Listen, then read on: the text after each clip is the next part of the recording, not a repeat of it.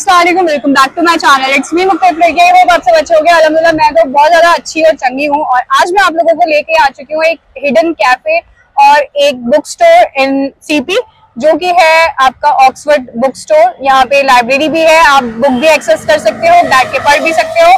और आप वहाँ पे बैठ के कैफेटेरिया भी जो कि एक hidden café and library and book store है सीपी में। तो चलिए उसको एक्सप्लोर करते हैं आपके साथ। कम ऑन दिल लगी तेरे दिल को दिल लगी न लगे दिल लगी तेरे दिल को दिल लगी न लगे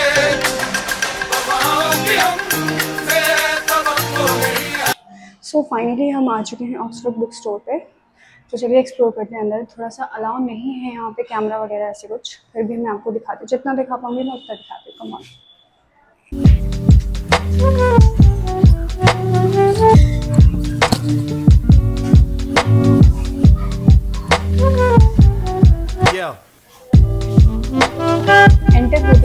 बुक्स दिख जाएगी और बाकी जो यहाँ पे कुछ ना कुछ इवेंट्स होते रहते हैं।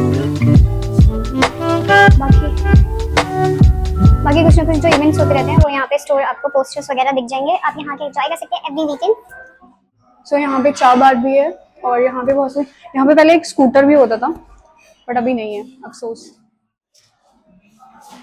It's magical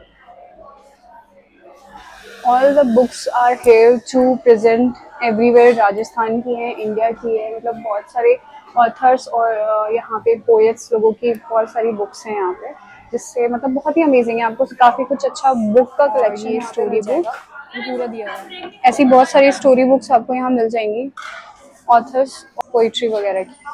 come on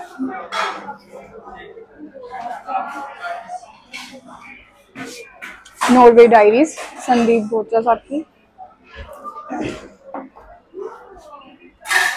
the global देसी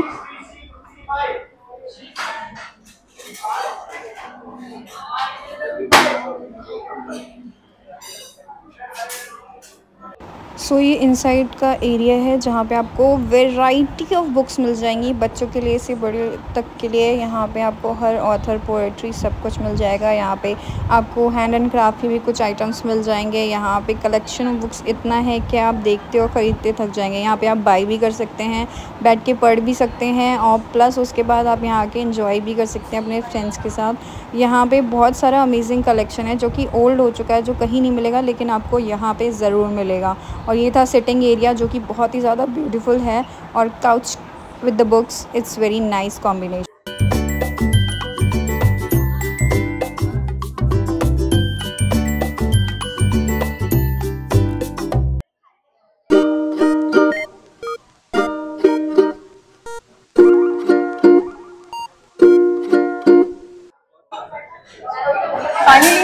चुके हैं यहाँ पे चार बार में, जो कि आपका बुक स्टोर से जस्ट डिसाइड्स में है और यहाँ पे आप आके बुक्स भी कैरी कर सकते हैं रीड कर सकते हैं और अपने फ्रेंड्स से आके यहाँ पे चिट चैट भी कर सकते हैं हैंग आउट भी कर सकते हैं। बहुत सारी चीज़ें हैं यहाँ पे और खाने के लिए तो बहुत सारी चीज़ें हैं मतलब बहुत सारी। सो so, काफ़ी क्वाइट नाइस प्लेस है पीसफुल है। आप यहाँ के अपने फ्रेंड्स के साथ हैंग आउट करें चिल करें कुछ भी करें। क्योंकि मुझे चाय बहुत पसंद है। यहाँ की चाय और पास्ता बहुत अच्छा लगता है। तो चलिए ट्राई करते हैं। और ये प्लेस है आपकी सीपी में। एड्रेस में डिस्क्रिप्शन में मैंशन कर दूँगी आप देख लीजिएगा। बाकी इट्स क्वाइट नाइस प्लेस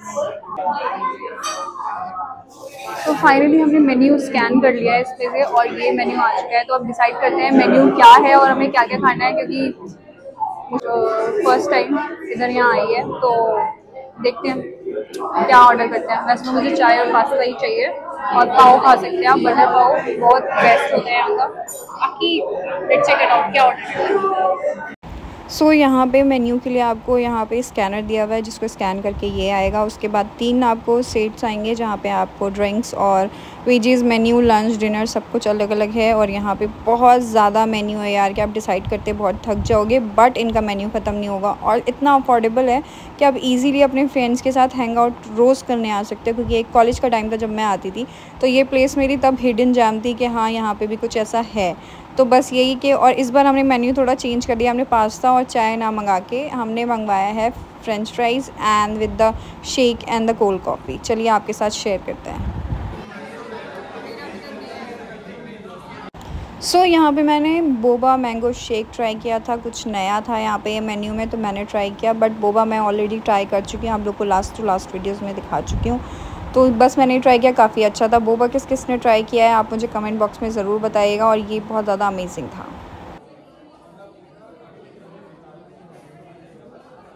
उसके बाद हमने यहाँ पे बाहर आ गए बुक्स के लिए। हमने एक दो बुक्स देखी, लेकिन हमें कुछ समझ में नहीं आया तो हम वापस आ गए। लेकिन यहाँ पे ये टोट बैग्स बहुत प्यारे मिल रहे थे, ये हैंडमेड हैं सारे। और ये यहाँ पे काफ़ी कुछ क्राफ्ट की चीज़ें मिल जाती हैं।